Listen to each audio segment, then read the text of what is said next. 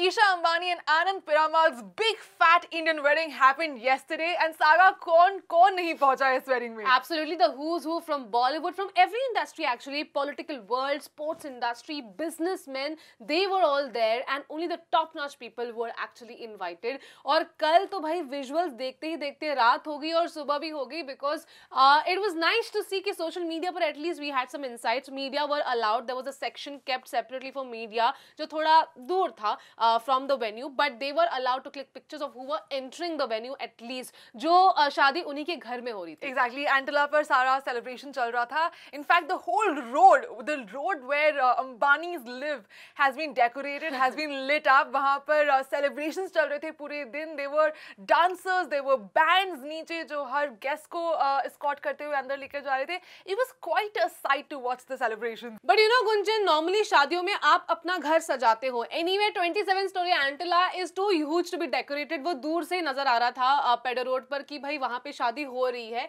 But I have never seen someone actually decorate the whole road and it was so beautiful it was a sight to see and like I said yesterday on the show कि अगर big fat wedding क्या है वो आपको जानना है please refer to Isha Ambani and Anand Piramal's wedding now we had a lot of people from Bollywood of course वो pre wedding celebrations में भी थे Absolutely, fashionistas were having a ball because हर कोई they were appearing at their finest here we are talking about Shah Rukh Khan, Gauri. Absolutely. Did you see Alia Bhatt? I really like what she was wearing. Lovely. finally, I spotted Alia Bhatt in this wedding. We also saw Sachin Tendulkar, जो बहुत cute लग रहे थे in that red color kurta that he was wearing. Uh, politicians की अगर बात करें तो Smriti Irani and Saif's uh, selfie was actually trending yesterday. Absolutely, and not only them, Pranab Mukherjee, Chidambaram, and uh, even Mamta Banerjee made an entry at this event. And even Nick and Priyanka were present together and they looked really cute. Suit also ऐसे जब शादियाँ होती है ना it's a delight for the audience and fans out there जो अपने घरों में बैठकर ये वीडियोज़ और फ़ोटोज़ देख रहे हैं.